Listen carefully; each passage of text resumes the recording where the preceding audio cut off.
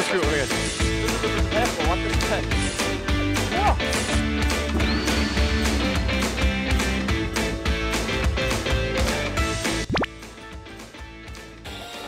おおいった。ちょっと早くないですか超バイバイチャンスですボタンも出ないかはいやっぱ設定以外のやっぱ何かっていうのはやっぱりだいぶ大事ですね。はい。なんか僕が全然ダメみたいな言い方。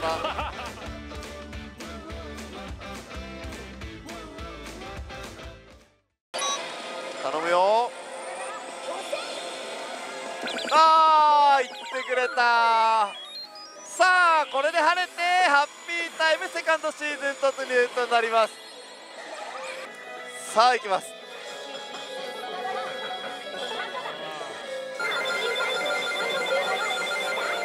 あー綺麗レインボーですねハッピータイム。さあもちろん突入時はバイバイチャンスからのスタートとなりますのでまずはここですね。お配当10枚配当10枚スタートです。これはまあまあ大きいですね。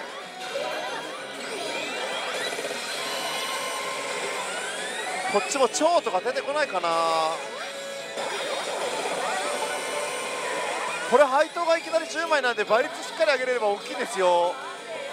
5倍。5倍。ここ欲しい。ああいい。これで一気に140枚。ここですよね。さらに配当上げれれば結構初回から大きな上乗せ立体が持てる。失敗。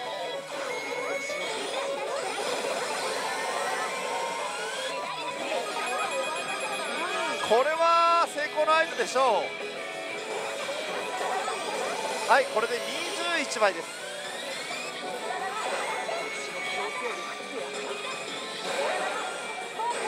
あの今作もですねエクストラサービスがあります。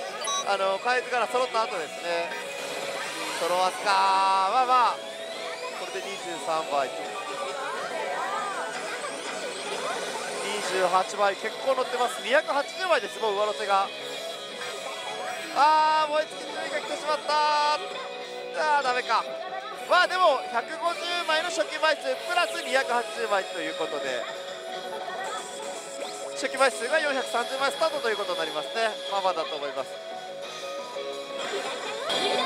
あーこれがなんですね。あこういうナビもあるんだ。あー終わっちゃった。337枚。はいなかなか伸ばせないですね伸ばせない。ってことは一気に僕がまくるチャンスですね。一方だってこの AT 初期枚数が430枚ですから。で超売買チャンスありましたけどその他にもあの詐欺師の戯れとかあの偽物語であった演出なんかもありますしあと売買チャンス突入時に綺麗なデコが登場してこう初期配当枚数のルーレットがあったりとか結構面白い演出追加されてますのでねその辺が見れたら面白いですよね。あとは何といってもボーナス AT 中どっちか引きたいですよね。おオダップ。さあ萌えステージに来ましたけれどもやっぱりトレステージまで行けばバイバイチャンスと大チャンスという感じでしょうね。まだトミーさんもトレステージには行ってないですよね今日は、さあ早速ここカイツ柄まあレア役からの発展もあるんでしょうけどやっぱりまずはこのヒロインクエストのポイントをマックスに貯めないとなかなか難しそうですね。まあ、ちなみに今回のこのハッピータイムなんですけれどもこのように1500枚獲得するまでは売買チャンスや超売買チャンスボーナス絡めて枚数に乗せながらなんですが1500枚獲得後はですね差枚数100枚ごとの継続率管理の AT にこう切り替わるっていう特徴があります、まあ、そこまで見れたらいいなと思ってるんですけどね。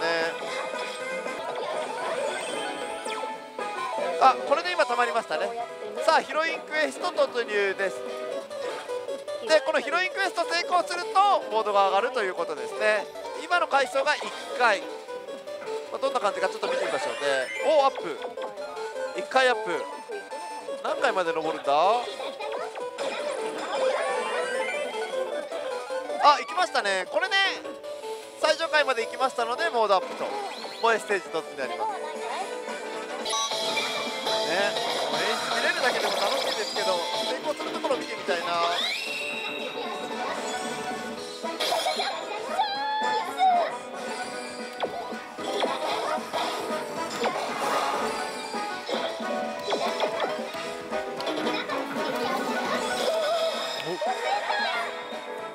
シュえ？それはなんだ？んなんかレア役来ました？いえ。さっきチェリー引きましたね。あチェリーは直撃出点あります。あそこはもしかしたら歌舞伎物語の直撃の可能性があります。レベコは神様に祈ります。レベコは天国なるか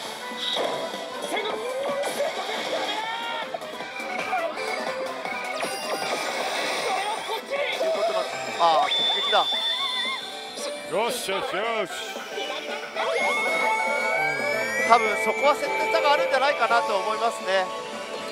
なかなかその結びの儀を成功させるのが難しい中でうんこの直撃はありがたいです。ありがたいはい。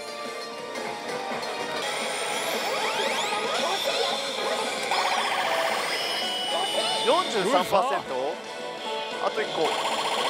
ああのこれ100%以外でも AT 当然濃厚のパーセンテージってあって77%とかがそうなんですけどゾロ目のパーセンテージはいいって聞いてます、ねはい、もしかしたらですけど設定6売ってるじゃないですか。それもあるか。もしかしたらそういうことはあるかもしれない。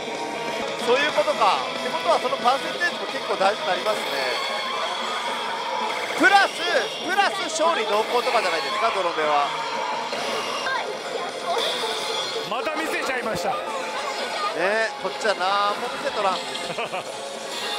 AT には入ってるけど本当バイバイチャンスに行かないんですね大丈夫か？あオッケーオッケーオッケーオッケー。さすがに行きましたね。よし。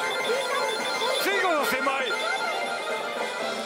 本当強いですよね。深夜の収録。強いですよね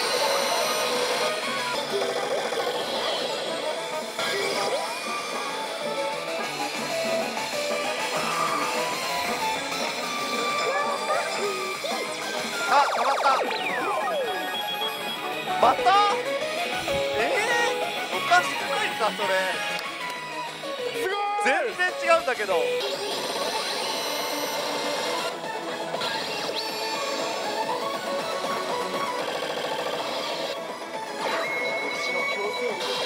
えもう32倍になってる。気持ちいいおおさらに。よしよしこれは乗っちゃう感じ。そうですね。わあ結構乗せてます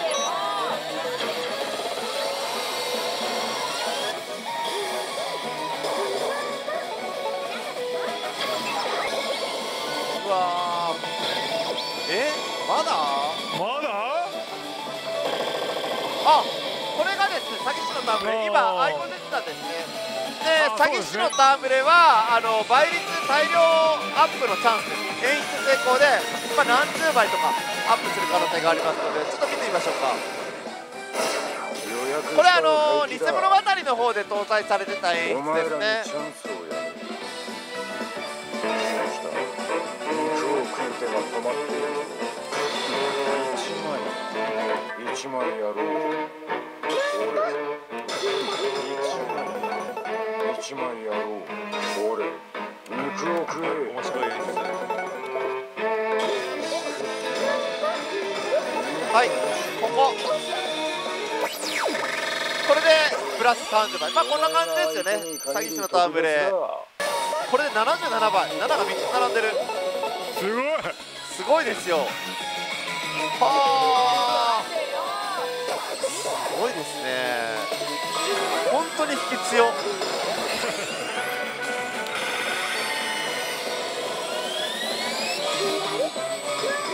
まあ十分でしょう。500枚以上乗ってますもんねそれで。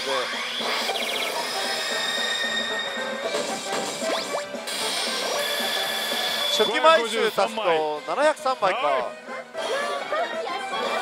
いやー素晴らしいあとは1500枚とりあえず頑張っていってほしいですね、はいやーなんもできんかったな。最初だけでした。あなんかプッシュのあれが来てる。なんだろう。煽りだけかい。はい、えー、獲得枚数529枚なんですけどちょっと注目していただきたいのがこちら液晶の右下に新しいトロフィー出てますよね。今回からこのブラックトロフィーが追加されてます、まあ、このブラックトロフィーの意味っていうのは次回です。次回トロフィー出現濃厚っていう演出らしいです。ってことはもうトロフィーが出るってことは設定2以上ってことですよね。だから設定2以上かつ次回もう1回トロフィー出てきますよっていうそういう示唆になります。トミーさんが見せれてないものを僕が見せれてます。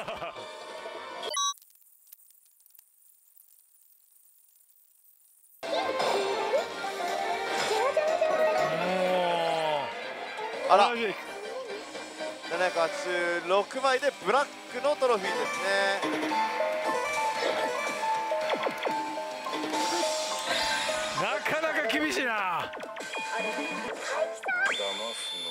さあもう実践時間の方も少なくなってきましたのでねあとは僕が最後素晴らしい AT で締めくれるかどうかいきます。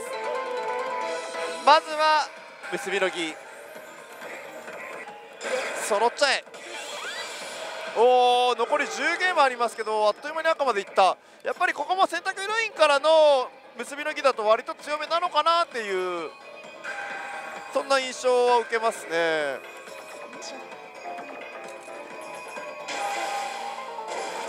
さあ行くぞ。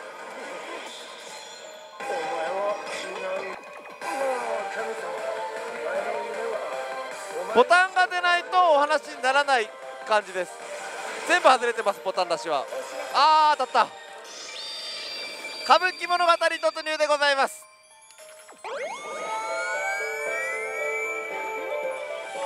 富さんあとはお任せください。はい。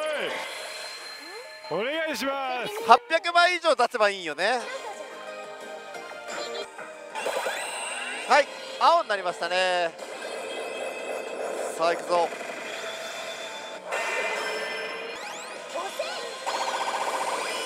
からの80いったでしょう。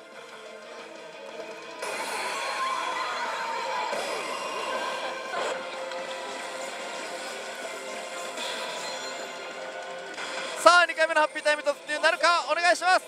おーあーダメ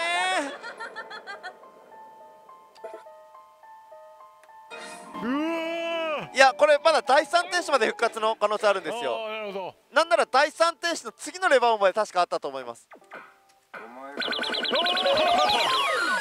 こういうね逆転パターンがあるんですよ。はいこれで2回目のハッピータイム SS 突入です。よし。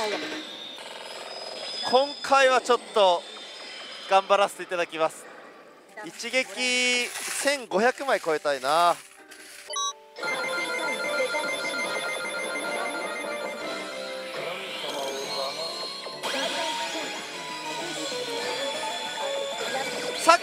っきここが10枚だったんですけどねあんまり大きくは乗せれませんでした。ただ1回目から6枚になったハイトアップ。超バイバイそんな簡単に引くんだったらこっちの台にも1回くださいよ。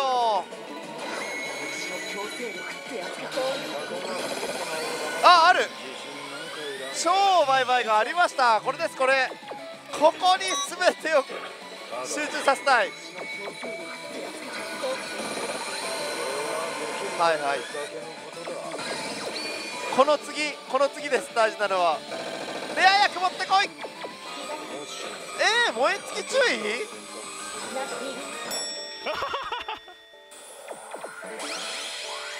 そんな終わり方。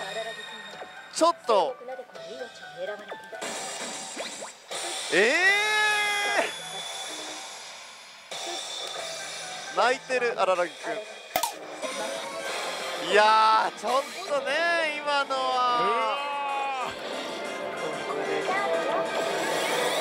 残念ですよ。あの蝶のアイコンが新しくね加わったのは嬉しいんですけど。え直撃ですか？また、はい。またっす。あやっぱ6は直撃来やすいんですよ。あ2回目の直撃歌舞伎物語で。すいやさすがトミーさんですよ。ちょっと悔しいけど今回はどうしようもないな。あすいません。今回もどうしようもないです。すいません。あ弱っ。シーサーですシーサー。ほんまや。えトータルでシーサーですか？そうです。弱っ。弱っ。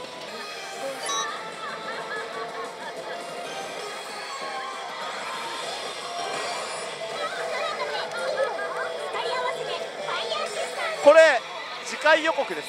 次回予告消化中どっちもボーナス引いてないしバイバイチャンスもないじゃないですか。次回予告。ここは大丈夫でしょう。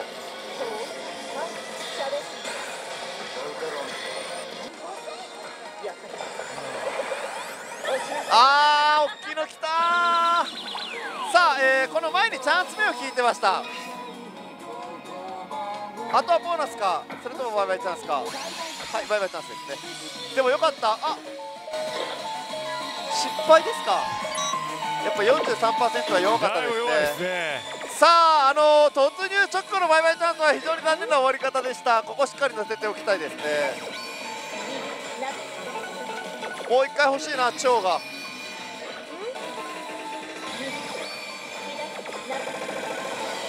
よしよし。配当を上げるのはとっても大事ですがもうちょっと早いよ早くない僕のバイバイチャンス終わるの。6636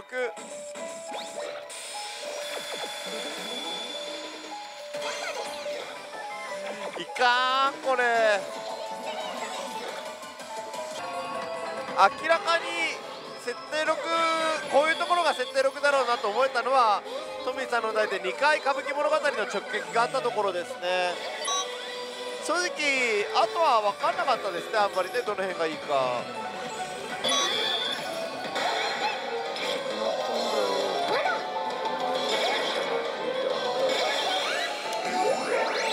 おおレインボー。最後も結局トミーさんが持っていくんかなんかそうやって。気持ちいい！全部持っていかれた。金文字ですね。金背景ああもうそのあたりはあれでしょうね大当たり濃厚のえ。もちろんレインボーの後などで決まってますけど。さあそしてこちらは347枚。そしてブラックトロフィーの次なのでここは出るはずだと思ってましたが出ないですね、え2回目のハッピータイム347枚。大した結果は残せませんでした怖いか？おー。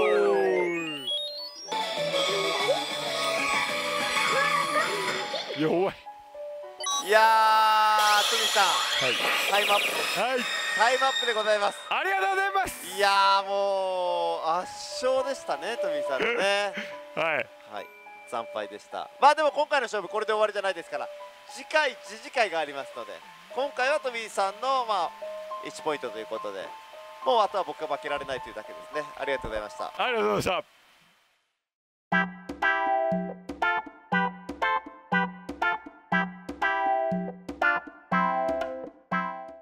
はい実践終了でございます。お疲れ様でございました。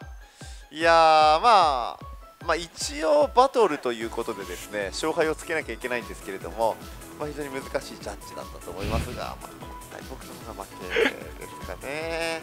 ちょっとやっぱり当たりも少なかったし枚数も伸ばせなかったし、まあ、全部見せたい演出をトミーさんに持っていかれたので、はい。やっぱり相変わらず強いですよね。何なんでしょうねこの引きの差は。